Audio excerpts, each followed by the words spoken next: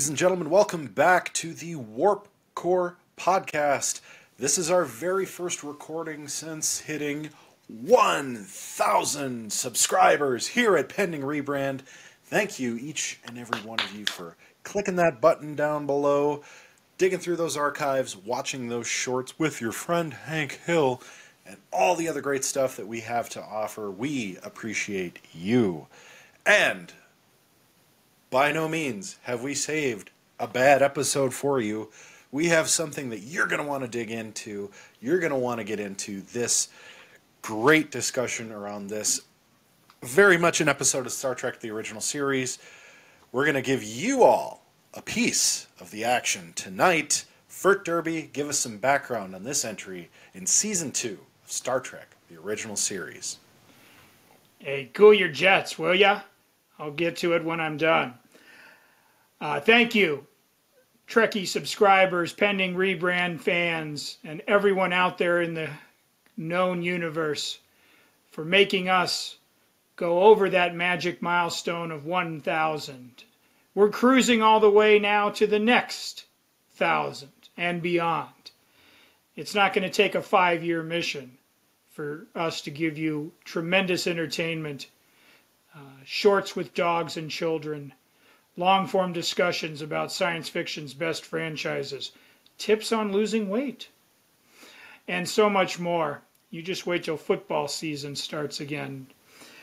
But in any event, we do want to thank you. Uh, what a long, strange trip it's been. And uh, the best is still here to come. And we are on a piece of the action, aired on January 12th, 1968. And to follow the sheer lunacy that was the game gamesters of Triskelion uh, is an unenviable task. Uh, luckily, we were in some pretty good hands, both in front of the camera and behind. We had a new director, in fact. His name was James Komack. Uh, his career uh, credentials include producer, director, writer, actor, and stand up comedian. Uh, amongst his directing credits, he does seem to have a comic background. Uh, he directed episodes of Chico and the Man and Welcome Back Kotter.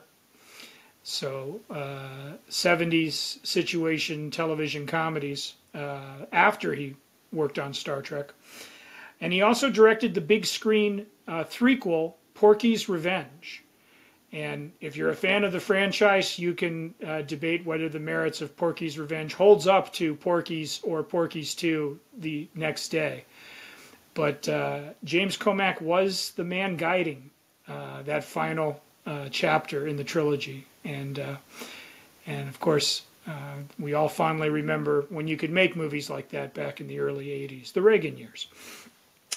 for our writers, we had David Harmon returning Mr. Harmon had his first produced Star Trek script with The Deadly Years, which we here on the Warp Core covered episode 51. You're going to want to go back and check out those archives, see what we thought of The Deadly Years. Everyone was aging, and we had fantastic makeup for our uh, crew, except for Leonard Nimoy, because Vulcans age slower than humans.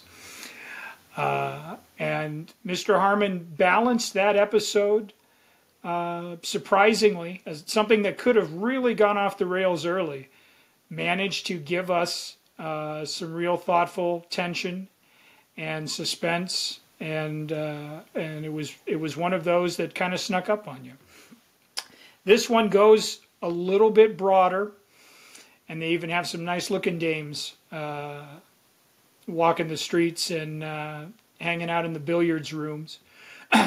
Basically, your elevator pitch Star Trek meets Miller's Crossing by way of 1968 sensibilities. So everyone talks like they're gangsters from Brooklyn. Uh, and there's a fine bit of overacting involved when you chomp on cigars, carry Tommy guns, and the like. Uh, we even had uh, Vic Tayback You'll remember him from uh, Mel's Diner in the sitcom Alice, and also some guest appearances on The Love Boat. He played Krako, uh, the second mobster that the Enterprise crew runs into. The first was Anthony Caruso. And maybe it's just this loyal viewer, but I was convinced I was seeing a, a step forward in time, uh, like the Guardians on, of Forever, showing me how Ben Gazzara would act in Patrick Swayze's Roadhouse in 1989, because that's what Anthony Caruso's his diction and the way he carried himself, it, it just was eerie. So maybe Mr. Gazzara was flipping through channels one night, saw this episode uh, in his recliner, and said, "Hey, I dig what that guy's putting out. I'm going to figure out a way to to use that." And he did to menace Patrick Swayze in a small Missouri town. Um, what can you really say, gentlemen? The the 1920s backlot, uh, the Enterprise uh, trying to deal with a distortion of a contamination of the Prime Directive. Uh, you have Kirk, Spock, and McCoy, uh, you know, getting to to mix it up with Chicago toughs, would be Chicago toughs. You get to see Kirk and Spock in fedoras and suits. Uh, you get a record number of fascinatings from Leonard Nimoy in this episode. I counted at least three, if not more. And again, despite the inherent potential silliness of the premise, darned if you don't go along with it because it's clear that they're in on the joke too. And they stay always on the right side of that line between camp and genuine humor. It just comes right up to the edge, but never steps over it and into something negative. I mean, Kirk inventing a card game on the fly to uh, overpower some gangsters. Fantastic. Uh, Anthony Caruso trying to use the communicator and saying, "Hey, you, in the ship up there," and cut to Montgomery Scott's bewilderment at everything that's coming out of that man's mouth. Um, it's there's even a plaque I think that, that for Krako when they or Krako when they show up it is like you know, as if all gangsters have like a plaque announcing, you know, their base of operations and so forth. You know, we the audience couldn't be clued in from the guys guarding it with Tommy guns. You have a plucky, street-wise orphan uh, who wants a piece of the action. Uh, so it leaves no stone unturned. But I mean, if you like that sort of thing, and you liked Al Capone and The Untouchables and Miller's Crossing and any number of gangster, you know, guys wearing spats and shooting pool and so forth, then this is exactly what the doctor ordered.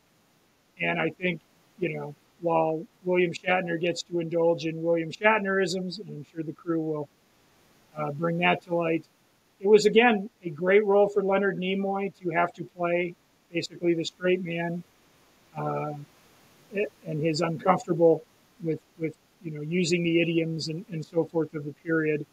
And I do want to tee it up with you guys talking about uh, he and, and Spock behind the wheel uh, in this episode. That scene alone gave me a very Voyage Home Star Trek 4 vibe. Uh, and I think those those actors remembered that and used some of that when they did the you know Lost in San Francisco bit in 1986. Uh, but gentlemen, uh, what do you think? Did they score, or uh, are the Flatfoots going to put them behind bars? I mean, I got to say that uh, I think the comparison between this and Star Trek 4 is extraordinarily apropos because I got shades of Star Trek 4 the whole time. I mean, this is a very self aware episode. I, I, think it's entirely valid. I mean, you know, there's a lot of talk of the Prime Directive, even thus far in the series. But what does it really look like? We've never really seen them taint something and then have to come back and deal with it, right? So if you go by the book, I mean, of course, it could be a little zany, a little bit like, you know, out of the ordinary. Um, and. you know, I think it's a it's a bit of convenience. Of course, I'm sure these costumes were readily available. You know, this these are probably sets they were using for films at the time. So it's just you know, how can we shoestring together an episode of Star Trek? Um, and I love that the cast seems in on it. Like they're they're aware this is kind of absurd, which you would be. You know, and the thing is, you still have that suspension of disbelief because it doesn't go too far, but also because you kind of would expect them to find it a little funny. Like a whole society that went around this one book. They're like, well, did they leave any other books? I'm like, yeah, technical manual, manuals on how to build radios. I mean, it's it's it's kind of funny. I mean, if if you think about it from their point of view, it should be a little bit wacky and, and a little bit uh, silly. Uh, I love the car driving. Um, that to me uh, absolutely is uh, Captain. Why do you insist upon using colorful metaphors? um, it, it's, I mean, th- there's something to say about Star Trek when it takes you know its silly side and puts it on the forefront. And I think this is a Desilu thing and, and a Gene Roddenberry thing because you can have very heavy subjects being discussed. And I think, you know, if, if you look at this from a, the perspective of, uh, you know, these next couple episodes deal with the perspective of our place in history at the time that this is being produced, right? In a certain sense, there there is some absurdity to it. You know, when you, you think about the human condition at the time that this arose, you know, the Chicago gangsters, and the next couple episodes touch on this as well. Um, it's it's almost comic looking back. I mean, even for us now, we look back at the Chicago gangster time, and you're like, really? Like they were like carving up areas of Chicago, Chicago, Chicago, uh, sort of uh, arbitrarily, and you know, it was like they were whacking each other left and right, and you know, hit on this and hit. Put on them on that. ice. I was, yeah. Everybody's getting these little catchphrases and things. And it's like it seems a little silly. I mean, even for for right now, not all that far removed. I mean, if we're being real, like you know, 30 years, on the hundred years, you know, it's not it's not that far off. So it it, it is kind of humorous, and I, I think it's it's interesting that if you think about you know applying that same lens to modern times, you know, in, in Star Trek Four, they go back to the late 1980s, and well, of course, like stuff that was happening in the 80s, like the punk on the bus, that happened probably pretty frequently is- in big cities like San Francisco, New York City, whatever. And people did get annoyed. You kind of wish you could just reach over and just knock them out without having to be violent. I mean, that that's a funny thing they did. It's the same same concepts, and and I think that's why I latched onto this and I was enjoying myself the whole time. Now, is this like the groundbreaking, you know, self-reflective episode that Star Trek sometimes gives us? We're like, wow, what an amazing, you know, ponderance of the human condition. No, not really. This is definitely more of the that's that's kind of funny. You know, it's I yeah, was- humans do silly things sometimes. Even in the future, it's a little absurd sometimes, and that that is is just such a cool perspective to see, and to see it now, you really kind of buy in to where Nimoy and Shatner are at at the time. They're they're literally playing dress up at one point in this episode, just really for the fun of it. There's no no reason why they had to do this. Um, and it just I, I I- feel like you're watching an episode of I Love Lucy in a way. It's even got a little bit of that musical camp. It's got a bit of the uh, sort of offbeat sort of you know character looks at another character and they kind of know what's going on. Spock does it at one point where he's like, "Yes, right." it's, it's it's it's comedy in a way that is still super sci-fi, super Star Trek, um, but also very relatable. Uh, the audience at the time would have dug it. Clearly, it's one of the more popular episodes of the series, and it it it borders on timeless. I would say because I, we're watching it now, sixty years removed, roughly, and it it has not lost its its comedic edge nor its uh, examination edge uh, when it comes to just kind of slicing open a period of human history and, and kind of making light of it uh, in, a, in a unique way. Yes. um, and that's all I got, folks. Uh, no, but it, it, I wish they would have seen Goodfellas and like done a Goodfellas version of it, which might have been maybe a little too saucy for the time, but yeah, I mean, I, they got to be campy without really being that campy with it, and even Shatner is. this is the one that even made me snort. There we go. That's how good it was. But at one point, I noticed as the episode kept moving forward, Shatner was Shatnering it up even more the further the the show progressed. Right. Like you know, but eh, she and like the whole thing playing that up. I I just feel like it was it was right in his wheelhouse to be able to do something like that, and Prime Directive. Like what what what happened? I, I I'm I'm I'm so confused. This episode made me even more confused about what the Prime Directive should have been for this because they're beaming people well, they beam just Krako up to the ship, right? Is that the only guy they beamed up? Yeah. So they, yeah, they beamed him up, so I guess he could be the one who saw what was going on and that they really have the starship. But now, that's got to be completely messed with because he's seen all that. Now, what could he really do with it? Obviously, probably nothing. But Prime Directive, you're not supposed to do those kind of things. And and I know we're going to see another episode down the line where the Prime Directive uh, really gets messed up a little out bit, where they yeah, it goes out the window.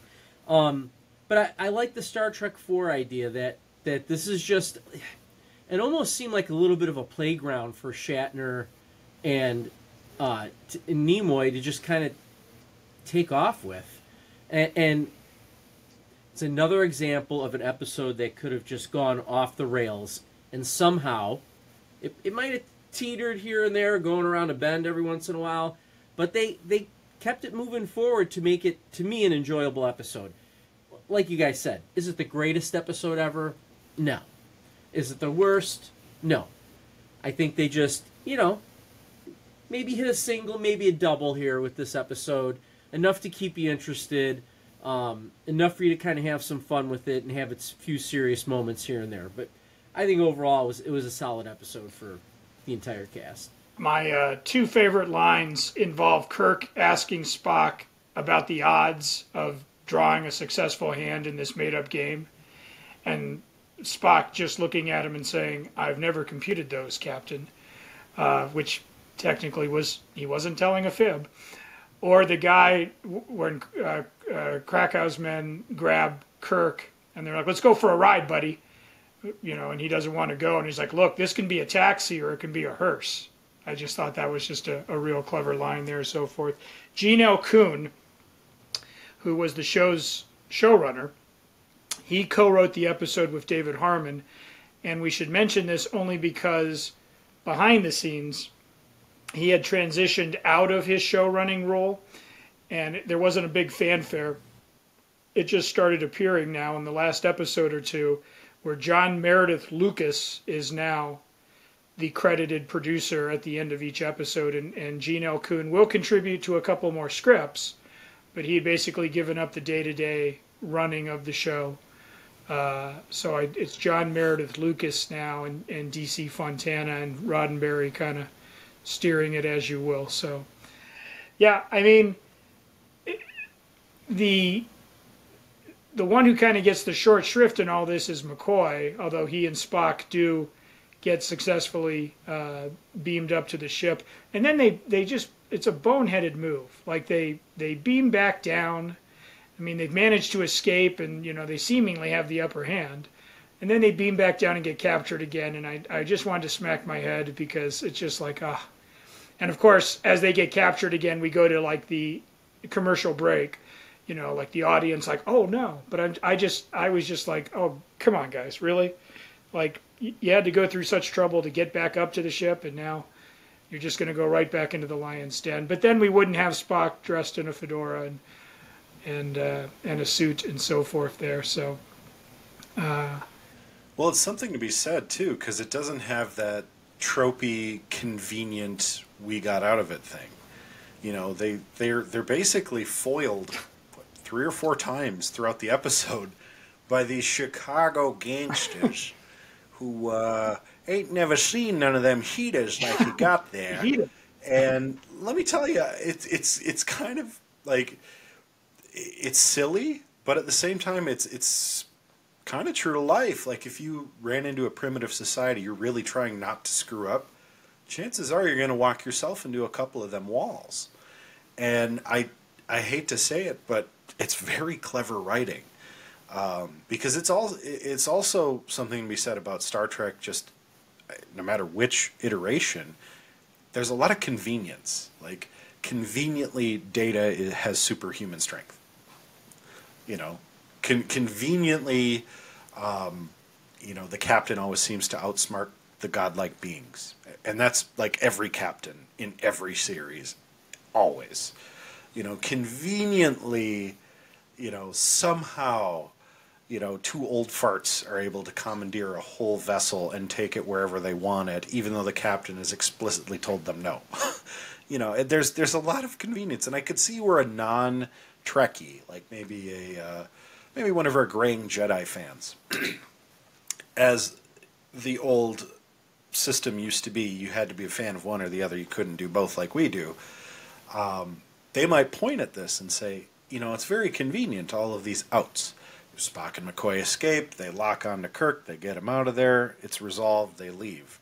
Well, no, they actually have to provide some resolution. They have to clean this up. Um, kind of like, you know, Luke not just going and killing Darth Vader. Like he's he's going to try and save him, and he kind of ends up getting himself deeper and deeper into the mud hole until you know something convenient happens. And I mean, it, it's still you gotta, you're still aiming for a happy ending. You know, there's there's very little complexity to it at the end of the day, but um, you know, it would be very easy for you know the whole group to kind of get out of it and be like, well, let me tell you, that was a sucker of a deal, you know. But they come up with something, and it's still pretty silly. It's still pretty comic, you know. Well, you know, the Enterprise and uh, the Federation are taking over, and uh, we're not going to get in on these small time games. We're going to leave y'all in charge. It's like, really? Come on. Are they listening to what they're hearing?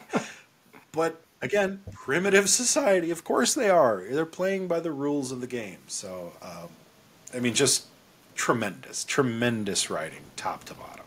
That, that card scene, by the way, reminded me of the scene from Stripes where John Candy's like, "Come on, bluff me. Go ahead, bluff me. I, see, there you go. I, it was like, if, it, it, was just, it was just, that was the thought that was going through my head. Just John Candy like making up the rules so he could take that poor kid's money in stripes. And the same thing is happening here with, you know, with Kirk making up all these rules when they're playing the card games. So that was something that kind of had popped into my head that I thought was pretty funny. Well, and who hasn't done that to like a little kid or something? Like made up a card game because they want to play a game, but you're just like, I, I don't know, I got to come up with something other than slapjack. That's how they invented Uno. So it's just I, I, I'm convinced of that.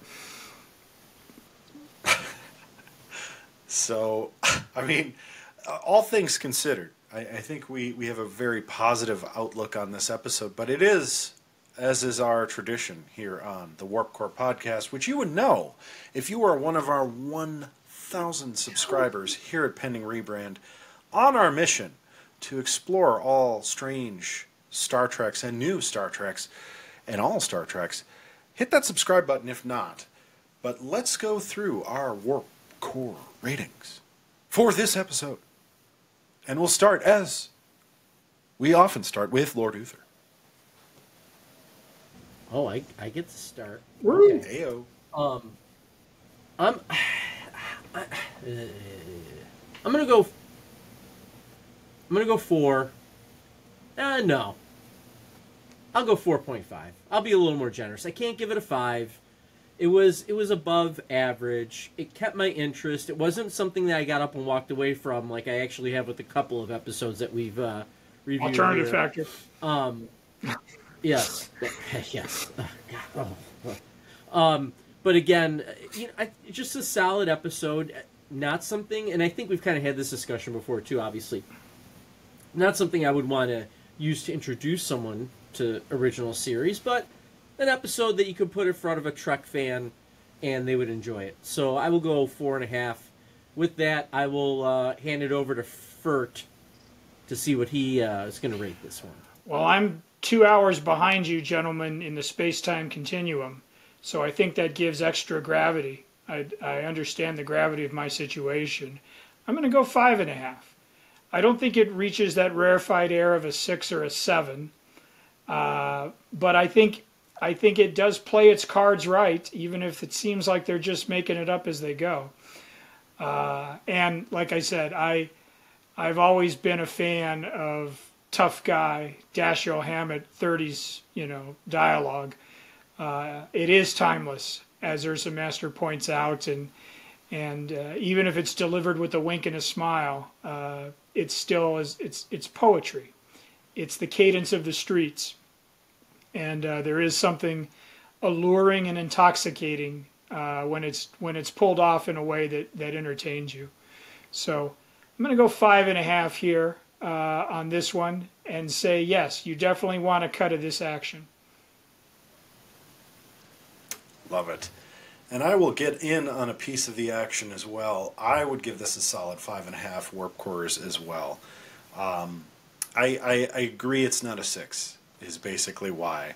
Um, I was entertained thoroughly by this episode. It was. Uh, it was not an episode I would say you have to watch to understand the original series, but it is definitely one that if you were needing uh, something to break up maybe the heavier episodes, which I think are ones you need to watch, the sixes and sevens, and you need something a little lighter, palate cleanser type episode that's still really solid.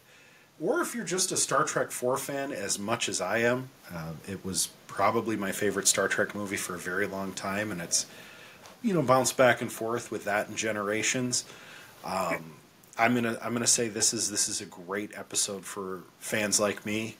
Um, I, I'm also self aware, and I, I, I would love to give it a six, but I got to be honest, it's not foundational. This is a playground. Um, this this is maybe if you were a, a group of kids, half of them want to play gangsters, half of them want to play Star Trek. This is what you get on the playground. you get an episode like this where Kirk and Spock and McCoy have to play with the gangsters, and it's playful uh, and enjoyable. Um, you know, no George Takei. A little sad about that. I feel like he would have had fun in this. Still episode. shooting the Green Berets um, as, as, we speak here. Still shooting the Green Berets.